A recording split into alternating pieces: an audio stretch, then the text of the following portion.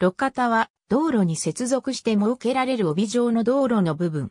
道路を保護する目的のもので、舗装されていない部分を保護路肩という。通常、路肩は道路の両端にその主要構造部を保護し紅葉を保つため設けられる。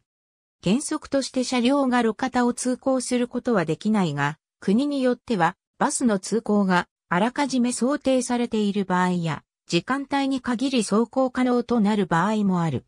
ボセル付近の週間高速道路405号線においては、混雑時に限り路肩走行が許可される。路肩は一般的には以下のような目的で設置される。国によっては以下のような利用も行われる。非常時の停車スペース等である路肩を道路混雑時に限って車線として扱うことを路肩の車線運用という。ドイツの場合、設計上の道路構造基準は高速道路は RAA、市街地外道路の場合は RAL、市街地内道路の場合は RASt で定められている。ノルトラインベストファーレン州の自動車専用道路は以前は往復に車線に幅広い路肩をつけた道路が一般的だったが、無理な追い越しが多発したことから、上下線相互に追い越し車線をつけた2プラス1車線が増えている。バス専用通行帯としてアメリカ及びカナダにおいては、交通渋滞を避けるためバスが路肩を走ることが認められている場合がある。このような例として、シカゴ付近の週間高速道路405号線におけるものがある。混雑緩和のための通行帯として、イギリスやドイツの高速道路の一部区間では、路肩の車線運用が実施されている。バーミンガム付近の M42 高速道路において、2006年9月以降、路肩走行が許可される時間帯が設けられている。本格導入前のテスト期間中には、所要時間が25%減少したほか、月間の事故件数が5.2から1.5へと減少した。同様の措置は、ボストン都市圏の週間高速道路93号線などにおいても行われている。日本の道路法は、路肩の構造については主に道路構造例に、その通行については主に車両制限例に、それぞれ委任している。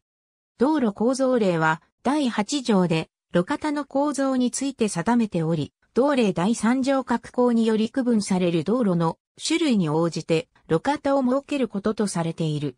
うち、第8条、第2項は、車道の左側、道場第4項は、車道の右側に設ける最低限の路肩の福音を定めている。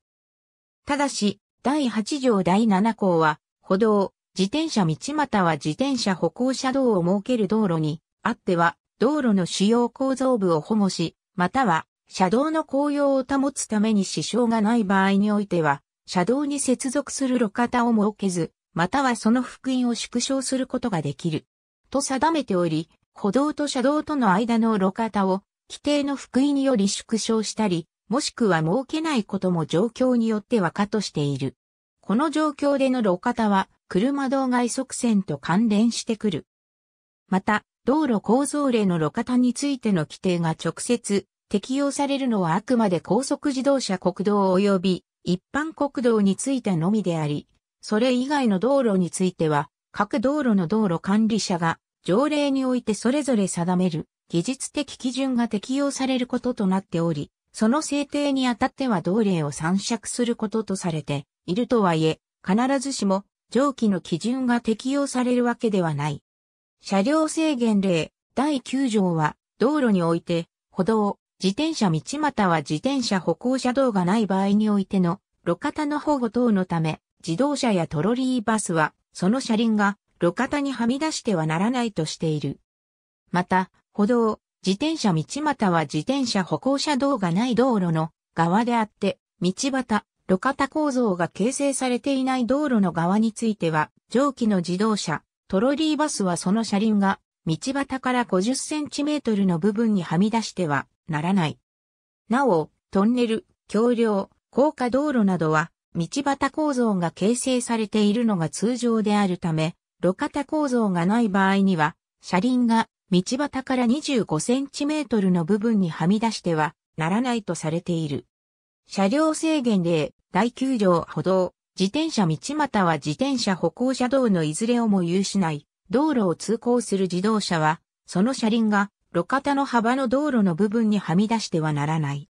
重量のある自動車、トロリーバスは重いので、路肩に侵入して走行すると、路肩が崩れて脱輪を起こす可能性があるので、走行を制限する目的もある。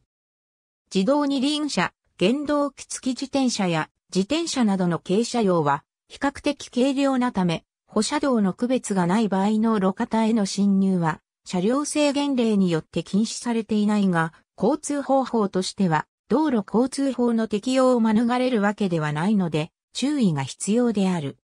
歩車道の区別がない場合の路肩の中で、路肩が明らかな場合は、路側帯であるため、右左折の場合に横断する以外などの例外を除き、通行することはできない。歩車道の区別がある場合は、車道外側線を参照。なお、道路法令、車両制限令に言う道路とは、道路法上の道路を言い、港湾道路、農道、林道、市道などには、道路法及び車両制限令の適用がない。ありがとうございます。